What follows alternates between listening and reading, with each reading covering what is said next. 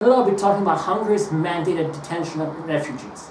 Now, Hungary signed the 1951 Refugee Convention, which states that Hungary has to accept refugees, people who are fleeing from persecution based on their race, social origin, nationality, ethnic origin, so on. That every European Union member state, including Hungary, has signed this convention, and this this this treatment of refugees, this mandatory detention, is actually uh, illegal under international law. So, so I'm urging the Hungarian government in Budapest to vote against this policy.